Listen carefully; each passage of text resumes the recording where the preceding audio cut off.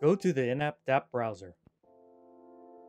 Find 0x Staking under the DeFi dApps or look for it using the search bar. This will take you to the 0x portal. Favorite the portal to add it to your dApp collection so you can quickly find it the next time. Click Auto Stake to use the staking wizard. Next, connect your imToken wallet. Enter the amount of 0x to stake and select the pool to stake with. The wizard will always recommend the best pool for earning maximized ETH rewards per 0x staked. Confirm the staking and gas transactions. Please note that stake 0x cannot be withdrawn for two epoch cycles.